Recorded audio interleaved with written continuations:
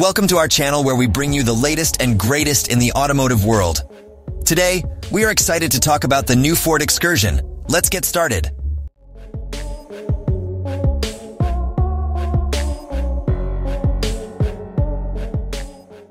The Excursion model was introduced in 1999 as the biggest SUV at the time, measuring 5,760 mm in length, 2,030 mm in width, and exactly 2 meters in height, with a distance of 3,482 mm between axles.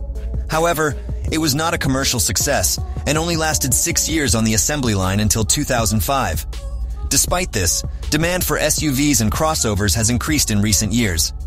The Excursion was based on the Ford F250 350 Super Duty pickups and shared many body elements with them. The new SUV is made using the latest generation Ford F350 Super Duty pickup truck as the basis, with a slightly reduced wheelbase and wider rear doors for easier access to the second and third rows of seats. The SUV borrows the front end from the pickup truck and the lights and tailgate design at the back. The tailgate design includes a lifting glass and swing doors.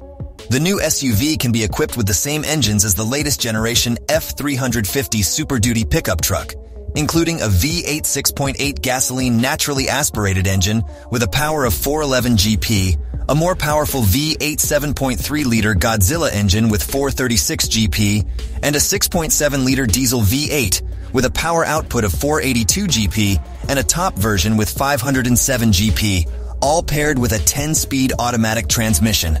Thank you for joining us today, and don't forget to like, share, and subscribe to our channel for more updates on the latest cars in the market. We'll see you next time.